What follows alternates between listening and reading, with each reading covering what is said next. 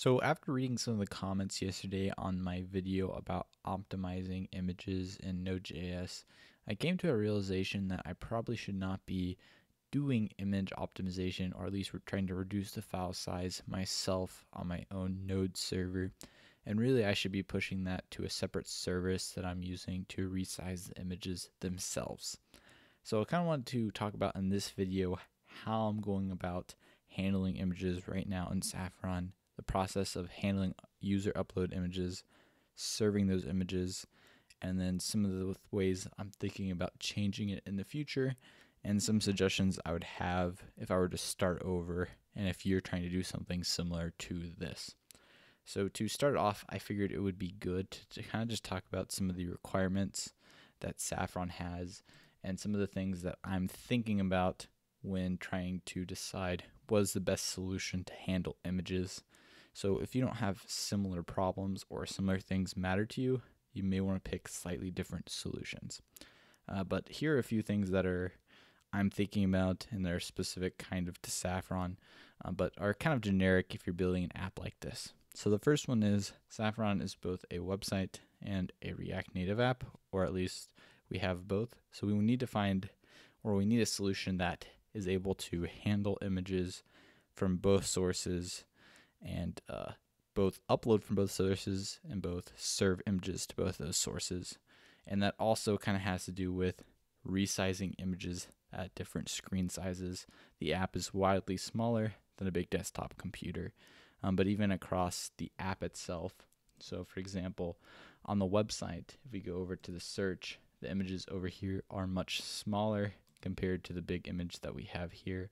So, we don't necessarily have to serve like 20 so there's like 20 search results or something in this list. We don't necessarily need to serve 20 images of this size. We can just serve this size image when someone clicks on an image uh, comparatively.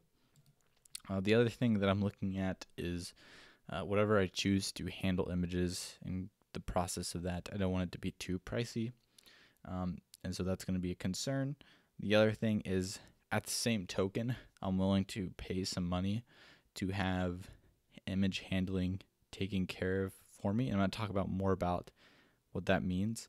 Um, basically, the two concerns I have is resizing and compression or loading fast, which we'll get to in a second. Um, but I'm willing to, I guess, offload the work of that to someone else um, and pay some money for that if I don't have to spend the time slash complexity to code it myself. So I'm also going to look at how much time would it take to make my own solution, how much time would it take for me to integrate like an existing solution. Um, and then lastly is I want the images to load quickly on both the website and the app. So being able to resize is important, but also serving stuff from like a CDN to make it quick and possibly being able to compress the images at a certain size. But also with the compression, I do want the images to look really sharp for food. Um, and I want to make sure that I'm not degrading the experience by trying to compress and optimize the size of the images too much. I still want it to be like a crisp image. And so that's something I may I might be able to do a better job of, which I'm going to talk more of later in the video. But anyway, with that said, originally what I did on Saffron is we had this form just on the website where you can upload a photo. So you just upload a photo uh, from your computer, and then I would resize it on, I guess, just using a canvas on the website on the client side, and then I would upload that to my server. Well, not to the server, to uh, S3 AWS. And so that's what I did at first, but we didn't have a, I guess, application or sorry, a React Native app at that point, so we didn't even need to think about that.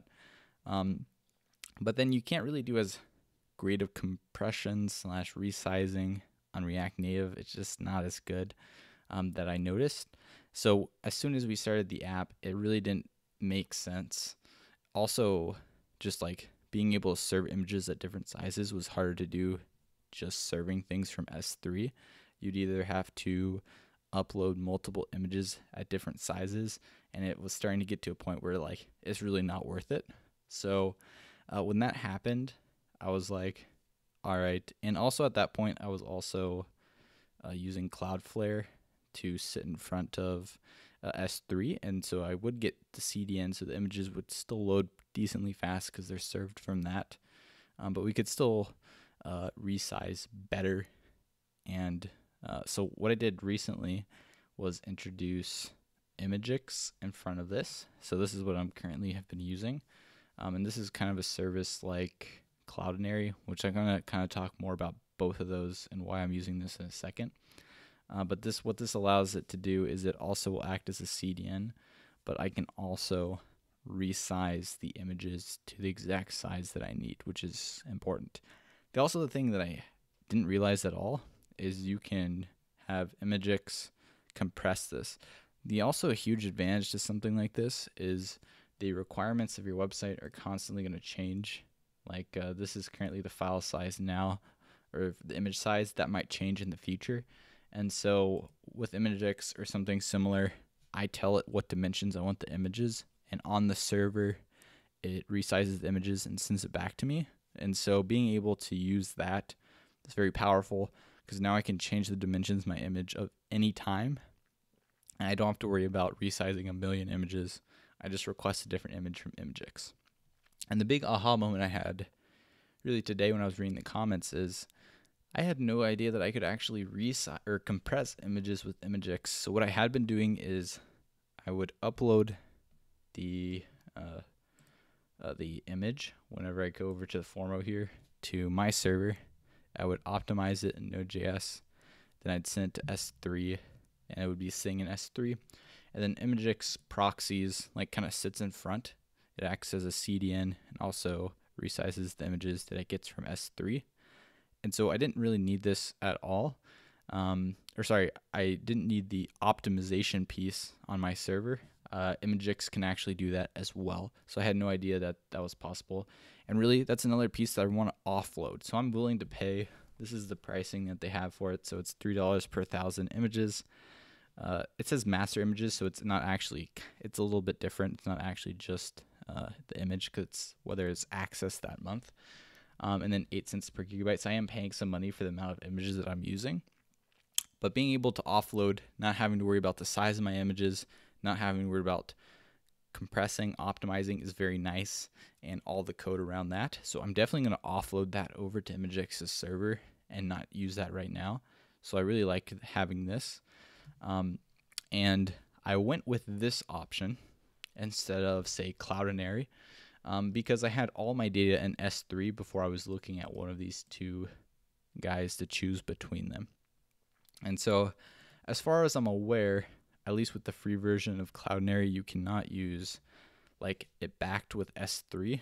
And also, it was going to be a little bit of a like a migration process to go through adding images um, like the public IDs and whatnot, updating my database to get to work with Cloudinary.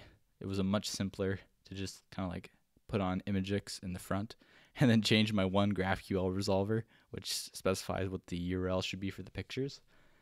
Um, so it's a little bit more work to migrate over to Cloudinary at this point, so I didn't go with it.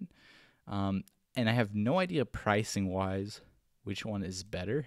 Um, but as for as as for like which one has better support for the features that I needed. Both had pretty much all I needed for images. I have ba- very basic needs. All I need is resizing and uh, also I like the optimization compression that I realize you can now do. So the, both of those are super nice. So I have basic needs. Both of them uh, offer it.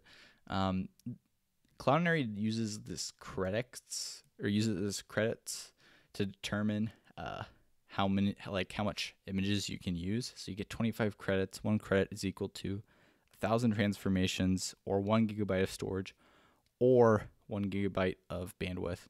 Um, so it's kind of a little bit harder to compute how much I would be paying on Cloudinary versus paying on Imgix. So it's hard to say, but I do know for sure right now because Saffron does not have that much like images total and uh, that much image traffic yet that I would still definitely be able to do it under the Cloudinary plan. Whereas under Imgix, I'm paying, they have like a minimum fee of $10. So I am paying like $10 a month. Um, so I was considering moving over to Cloudinary, but I'm not sure if it's really worth the migration, the development time to move over, because $10 a month also isn't really that much. Um, and I was unsure also Cloudinary, uh, kind of like the jumps between plans. I was kind of unsure pricing wise. Like you go from 25 credits to 225 credits. So it seemed like a giant jump between the usages, whereas Imgix was kind of pay as you go. So it kind of felt weird that you kind of would underutilize the plus for a while and you kind of underutilize the advance for a while. It seemed weird there wasn't kind of like an in between, but maybe I'm missing something and there is.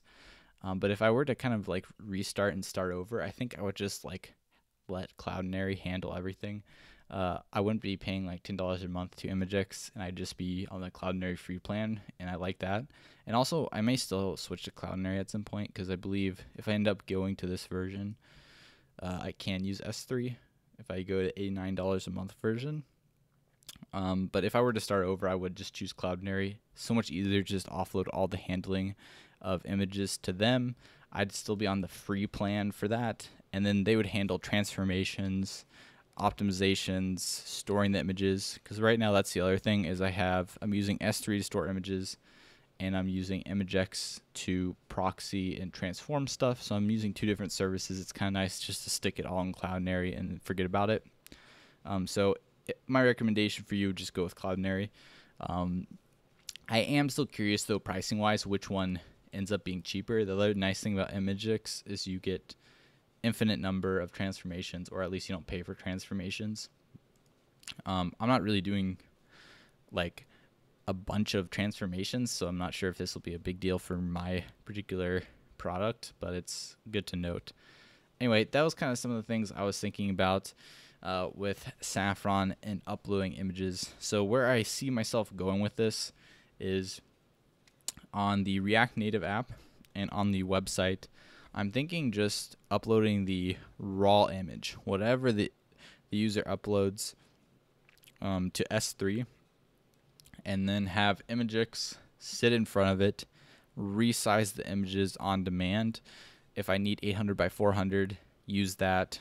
Or, of course, that was the other thing that uh, I'm still kind of trying to figure out what's the best size to load in of the image. So right now this is an 800 by 400, but if we were to look at what the actual size of the image that I'm loading, it's actually bigger, and that's one thing I noticed is if you import the actual size, oh, I guess it's a little bit smaller because the screen is scrunched a little bit.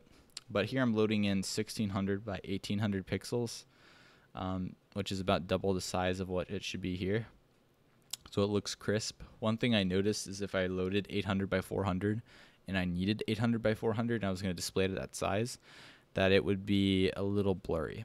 So, uh, or not as crisp if as if you were to uh, get an even big even bigger version and let the browser resize it a bit. So I actually even load a little larger than I need for this.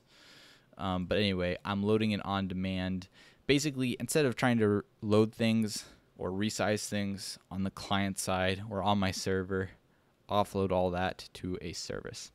Anyway, I'm curious what your guys' thoughts on this. If you have any recommendations on improving this process, do let me know because I'm also experimenting with this and kind of trying to feel it out uh, what the best way to do it. I think this direction is going to work well with just uploading the raw stuff to S3 and then letting like a service like this handle everything else for me and I don't have to worry about all that stuff. Anyway, that's it for this video. Thanks for watching.